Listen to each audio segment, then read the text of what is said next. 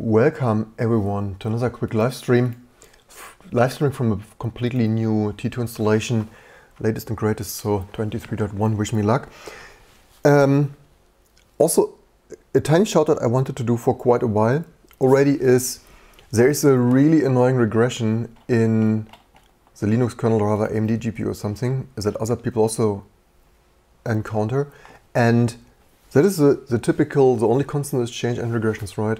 I understand Wayland, everything is amazing, DRM, kernel mode setting, yes, the best of the industry. And sure, with the Steam Deck and other companies chiming in there, and certainly AMD, but also Intel with their GPU open source efforts and stuff. Stuff is getting amazing also in, in terms of high performance and all the other open source community and enthusiasts, but this kind of regressions then really kill, kill everything. Um, and it's kind of such an unnecessary regression, right? You have high performance Vulkan and state of the art graphics, and then your bloody display doesn't turn on anymore, right?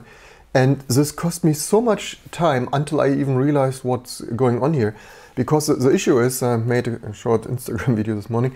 Actually wanted to record this longer, but how it is uh, with, um, because, so the issue is for a long time, right? For easily six months, if not longer, I have the issue I leave my Linux workstation either suspended to memory or um, idling um, because it's like not idling but compiling T2, right? So for prolonged amount of time, and often I switch the display off then for energy safety and, and display longevity reasons. And for six months, I have it so often I come back to the office and my workstation is dead, right? So the, the, the symptom is you don't have display auto, right? And so for decades, like for not kidding, 20 years now, the running gag is Linux desktop is great and stuff, but do you have audio? Like with ALSA inputs, Audio and stuff. But now it's like, yeah, do you have display output, right? This, this is so ridiculous. Why did it take me so long um, to diagnose that?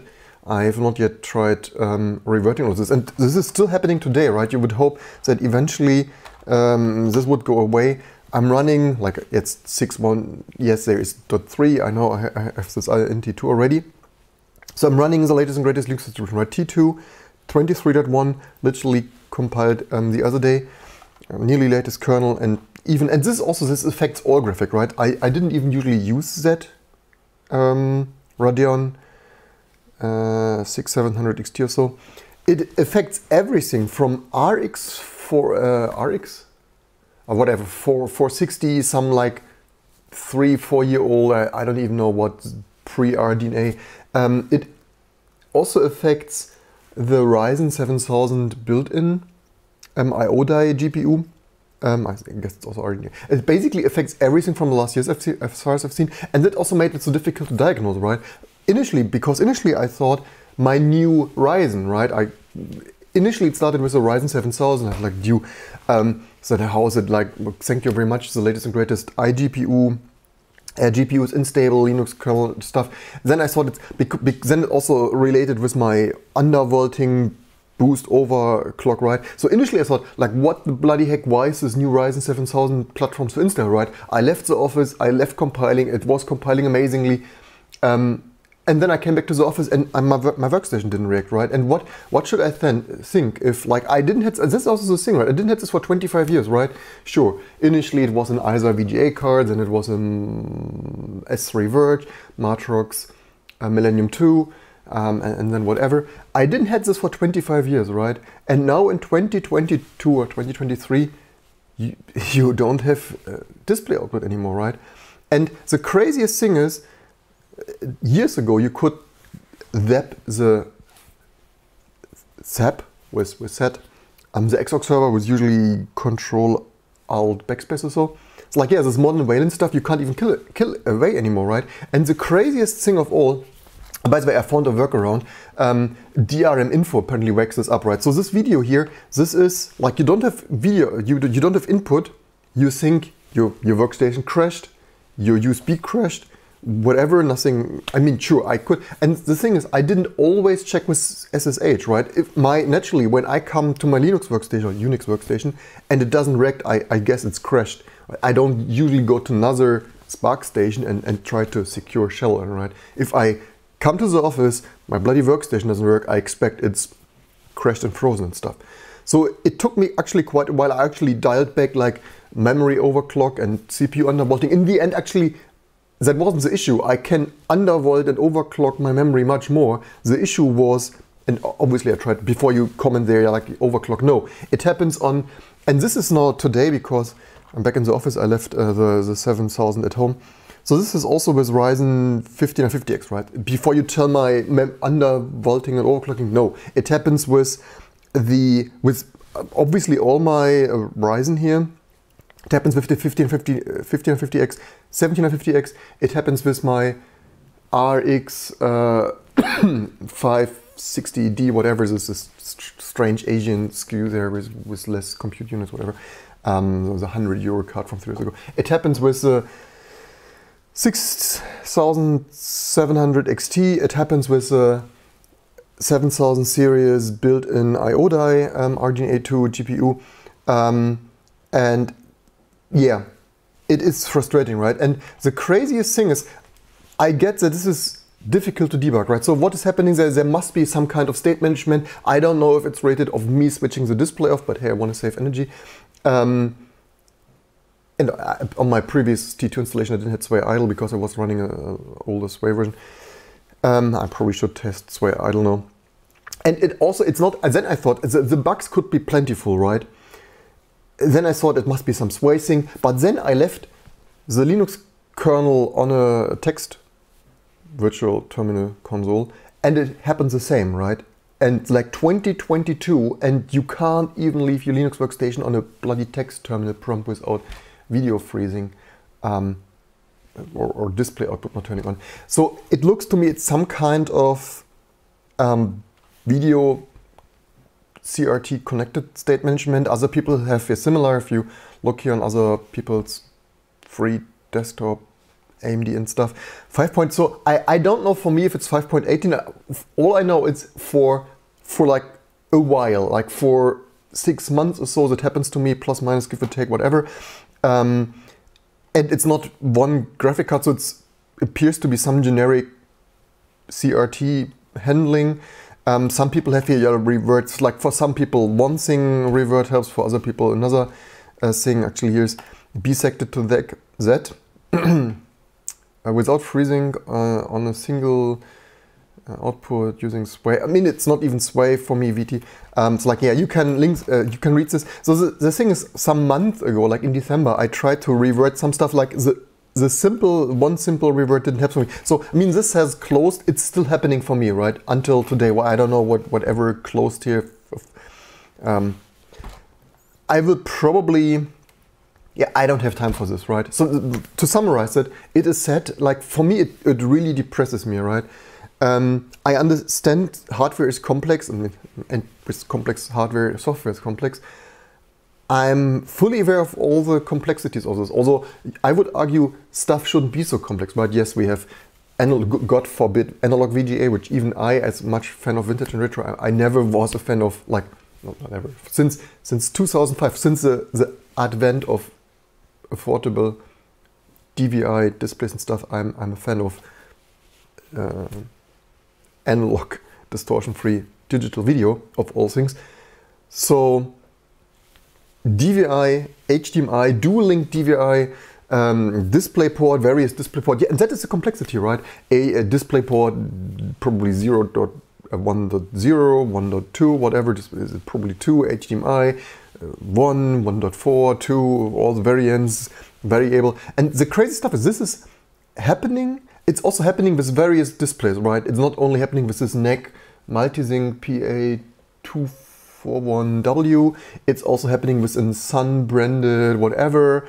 Um, yada yada. It's so it's not like one display and so on, but it, it is said, right? For 20 years the running gag was, yeah, Linux desktop is nice, but do you have audio? Like 2022, the running gag is, yeah, and now audio works, but do you have display output? It's like, like, you? Um, yeah, just wanted to shout this out. What um, like I was added actually DCI display controller right uh, as I, just as I expected six months ago, which also correlates with like I say this happens for like six months for me and.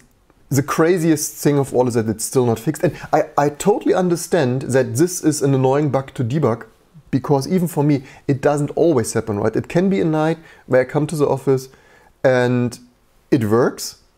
And then it's sometimes it can it can be hours. It can and, and sure. Do have you heard about this issue? No, because most people do not leave their computer epic thread ripping through open source stuff for prolonged periods of time.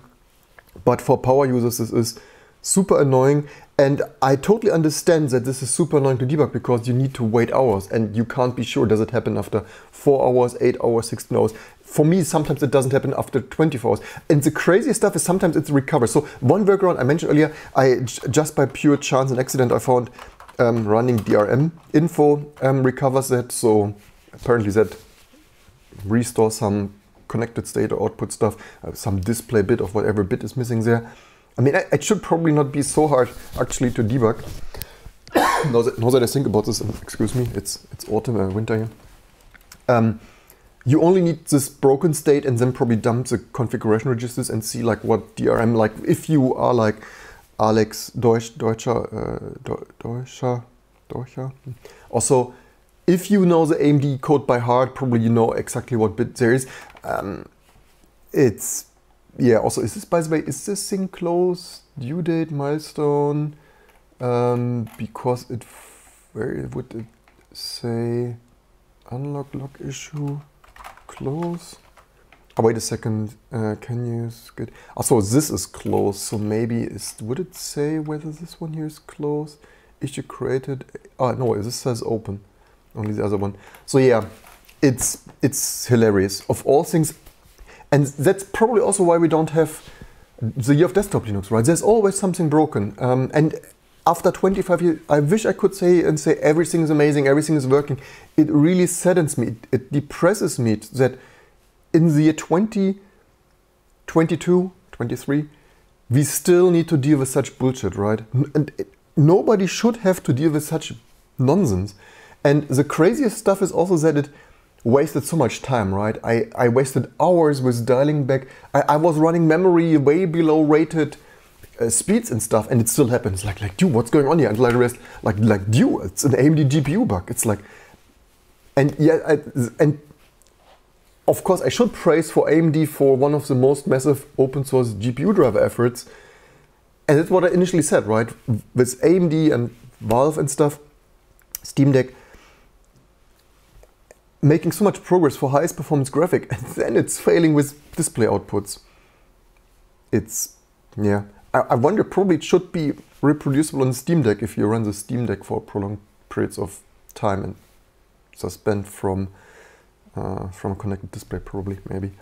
Anyway, um, that's this whole video. I, I, wish we everything would be amazing in open source land. Um, but yeah, I probably should.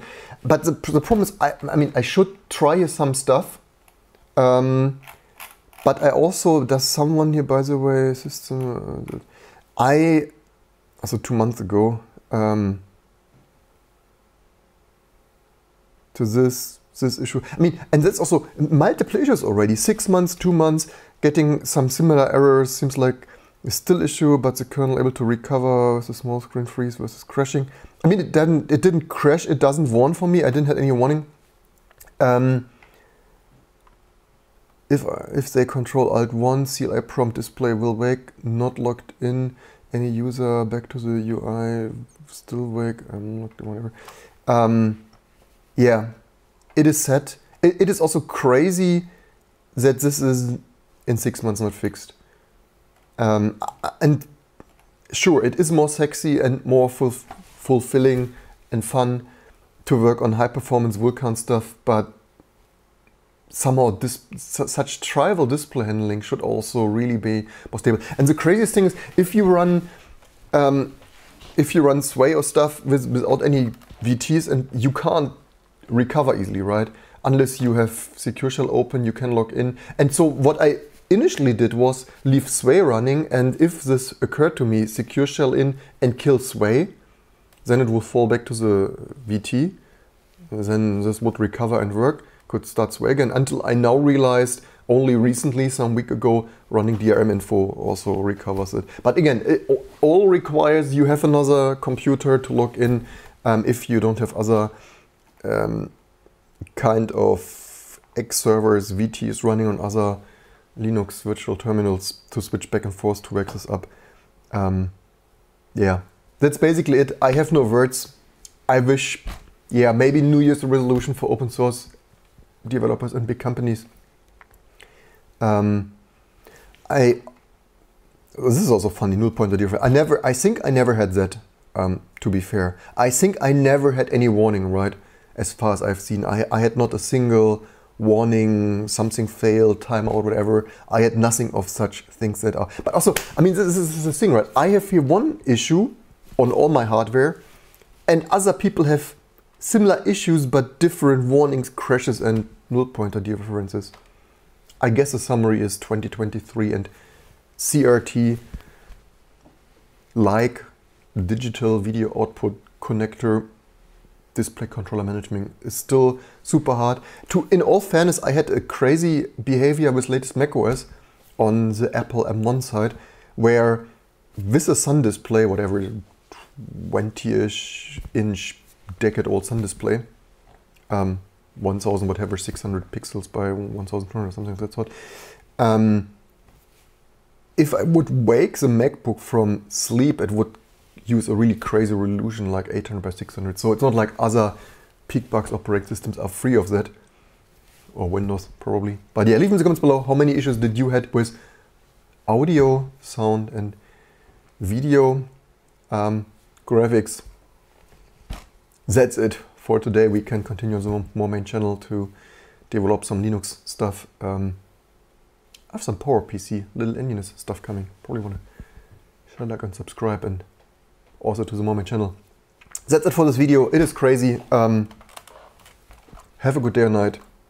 Stay awesome. Maybe debug some stuff. If you have nothing to do, maybe you want to bisect this. Sorry. I again called it cold. Let's check quick look here to the comments. Welcome everyone.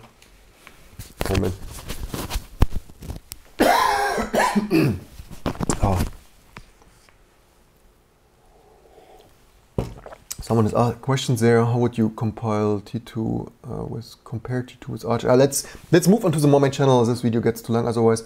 Uh, happy to answer that on the Moment channel in a minute. Um, someone says this wake up thing is fixed, gas fixed with 6.0. No, it no it isn't. Um, I'm running so this literally uh, 6.1. I didn't reboot this, so um, it this happens. So I'm, this machine is up 16 hours overnight. Um, and it happened. So this Instagram video is recorded this morning when I came to the office. It's like, like, dude, this shit still happens. Um, I, I, wanted to record this for a long time, so this video is from this morning. Does it probably could theoretically show there a yeah, 612 T2, I guess. It shows there. So uh, it's not fixed. Um, I could test 613 later, but I, I don't have the highest hopes. Um, yeah, see you next time.